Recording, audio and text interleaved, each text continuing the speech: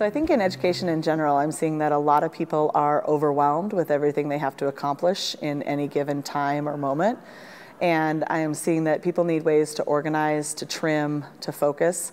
And if it's said that we can only really change 10%, people need help picking their 10% that they're going to focus on for that year. And in math, what are the most important concepts that they're going to focus on for that year?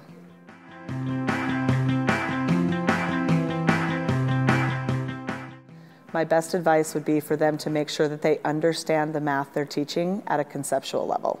So, and to not be afraid to say, I don't understand the math I'm teaching, even if I'm a kindergarten teacher.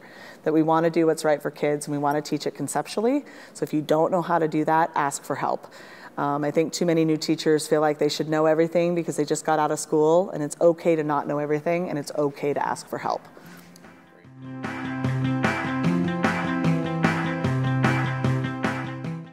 Even in my 19 years of education, things have changed.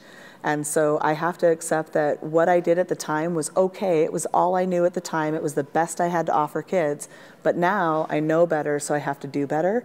And so when we think about that, like letting go of the guilt to be a learner and to do something different doesn't mean that what you were doing before was bad. I think it shows a lot of um, actual risk taking and vulnerability and an ability to be a learner. And I would rather work with a learner than someone who thinks they knows it all, know it all and then they're not able to actually perform. Mm-hmm. So I want people to be vulnerable. I want them to ask for help and that mistakes are, like SDE says on some of their little hashtags, mistakes are just evidence that you're trying.